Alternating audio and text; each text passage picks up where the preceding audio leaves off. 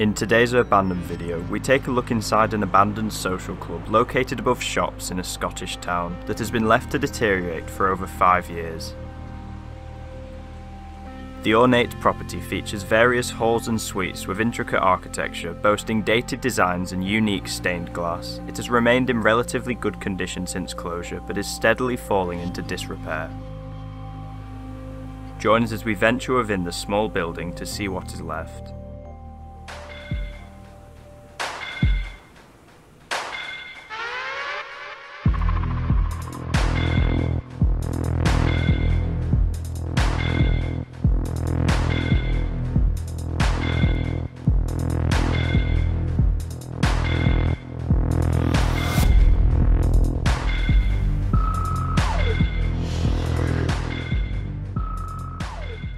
Remember to click subscribe and press the notification bell to never miss a video. Remember, you can visit our brand new website that we think ties the channel's videography and photography together. The website is a hub to keep up with everything we are working on. Our support links, social links, and latest social media posts is accessible, as well as our detailed location reports for nearly every site we have visited. The reports contain a wider range of photos than are shown in our videos and allow you to read up on the historical information and our experiences regarding each place. The biggest addition in our eyes on the website is our store. We understand the controversy surrounding selling any item that relates to Urbex, but we think we have corrected the right balance moving forward. We will be selling location print bundles for the spots we have visited for a limited time only after our video has released. This way, if you particularly enjoyed a video of ours, are a fan of the property itself, or have a personal connection to it, there will be a physical way to remember it. In addition to the website, we have launched our brand new Discord server. As a group of friends and exploring enthusiasts, we often spend time planning and chatting about what we are doing next, and thought why not open it to everyone that supports our videos. We have dedicated chat rooms and voice rooms for all sorts of things, and an interactive based levelling system that will unlock more permissions as you chat more.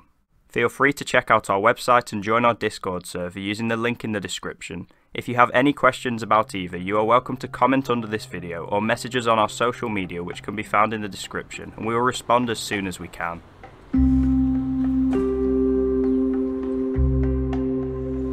If you weren't aware that the historic social club lied neglected, it would be tough to work it out as a passerby on the street. The building isn't in the worst condition and just seems like a typical slightly dilapidated town centre structure.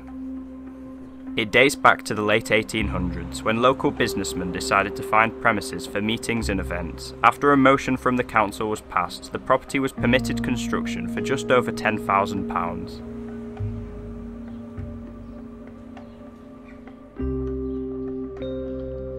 With such a prominent position in a very public area, we didn't anticipate entry at all to the structure, expecting it sealed, so it was almost laughable how it occurred. Using high-vis jackets to act natural, we slipped inside the open door, unable to believe our luck. Holy shit. This is a really nice room. Pretty simple. Three snooker tables, I think there would have been four, by the way, there's a light fitting on the right side. And some of the balls still remain, but these snooker tables are massive, like professional ones.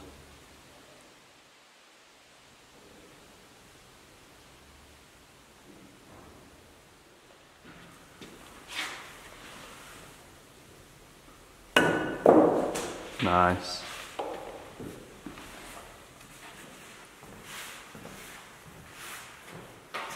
It was a brilliant space to begin the exploration. With leaderboards and competition articles dotting the walls, it seemed that a club for the sport was based in the building, which is why the setting was so proud. The rules of snooker.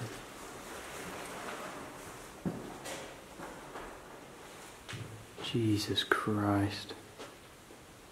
This place is amazing. Clock on the wall. That stained glass window up there. What?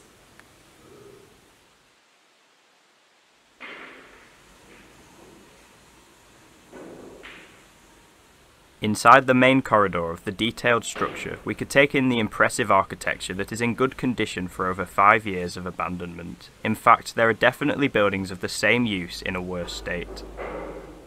Everything from the arched ceilings, ornate coves, carved banisters, and colourful stained glass windows brought so much to these sections and emphasised the shame that there is no life in the site anymore.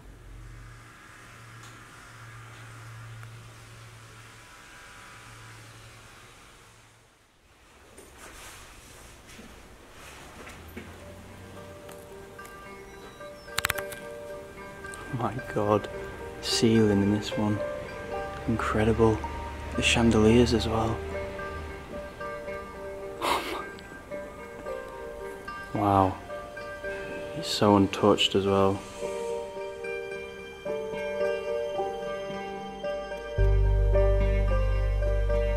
This was one of our favourite rooms, with a vibrant red ceiling and golden chandeliers, despite the tarp that had been set up to decrease water damage.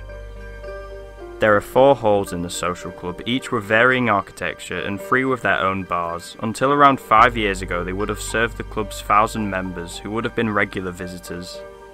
It doesn't appear that everything was easygoing at the property, with the premises having their licence suspended not long before shutting. Apparently, this was due to poor management and incidents such as underage drinking, public disorder, and hospitalisations occurring over the decades of use.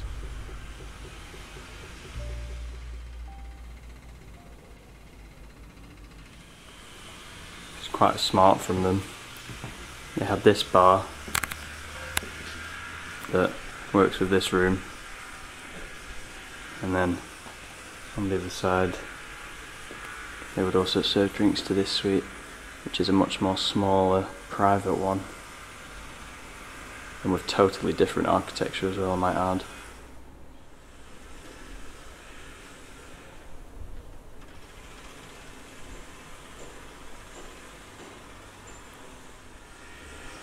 Not sure what that crest of arms is about. This is where the beer was kept. On the walls they've got stickers for Foster's cider, Stella and Guinness in light and heavy. Aside from the suites, a lot of the downstairs rooms were bare except for some old features. The structure itself is tiny in comparison to a lot of places we cover, but the super condition and architecture makes up for it. Going underground. There's a huge CCTV camera there looking at the entrance for this. Hopefully it's something cool. That is quite nice. I don't think that's going to open. I believe this is just the entrance. That would make sense. Yeah, it is. I can see the doors to outside on the other side. Grand entrance. It's what you would expect from this place, from everything else at least.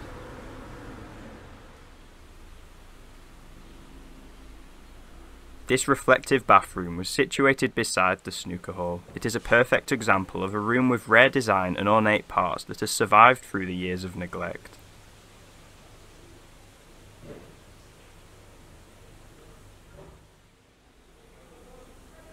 Next, we headed upstairs to the second floor of the building, where we were intrigued to see if it shared the same degree of 1800s craft that had intrigued us so much in its lower regions. That window is awesome.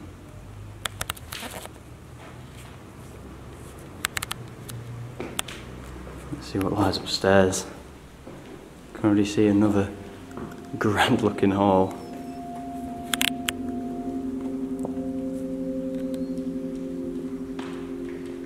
There's a lot of pigeon. A lot of deceased pigeons in here.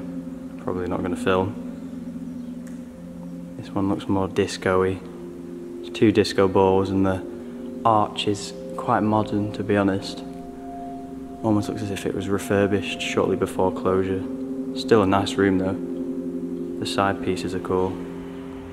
It's like a miniature dressing room in here. thought it was a toilet but it's not.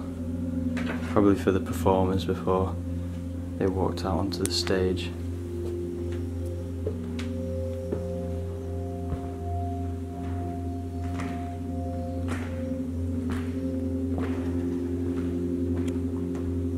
One thing that I've noticed about this place is that there is decay, but really it's in great condition, and you'd think it could be used again. They just cleared up a bit of the mess and obviously refurbished it slightly. It's so sad that it's in this condition because the architecture is so beautiful.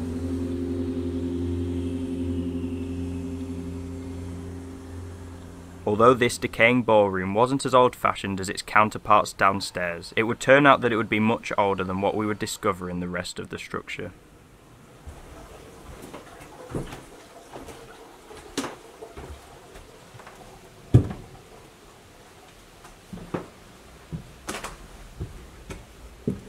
But the last one looked modern.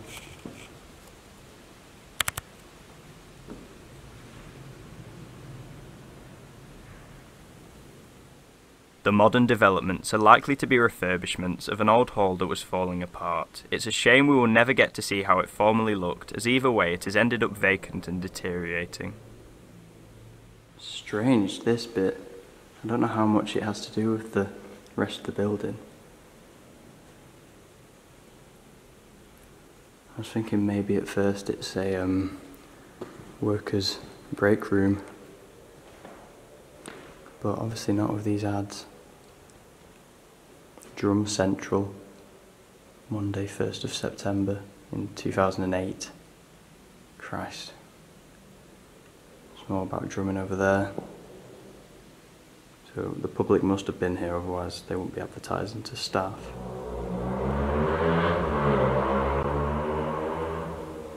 Thought the only things in here were just going to be empty rooms, but there's a nice organ, completely intact. Could be sold in a shop and you would never know.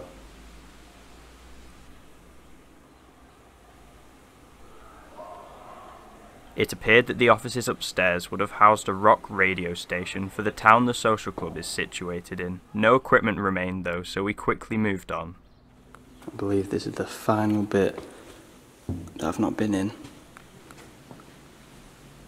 It's a very nice staircase, it contrasts from that modern room. It's all stone as well. These stained glass windows. Wow.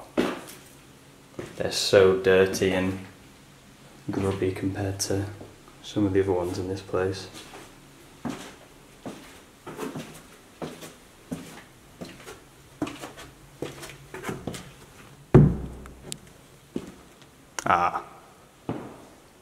That makes sense. We've covered everything.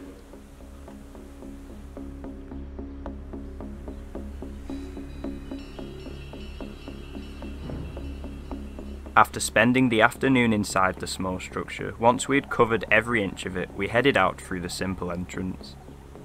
You would think that a building with rare architecture that we lose each day that is relatively protected would be a renovator's dream, but the site remains without owner.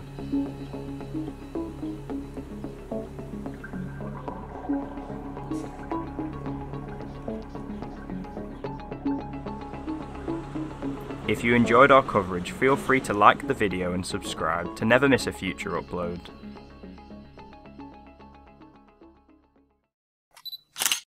Here are some of our photographs captured at the impressive abandoned social club. If you like the look of them, check out our Instagram page in the description where we post images of our explores months before they are seen on YouTube. Thanks for watching. With the lockdown beginning to finish in the UK, we hope we can get back to Scotland soon to continue ticking off places. See you next time.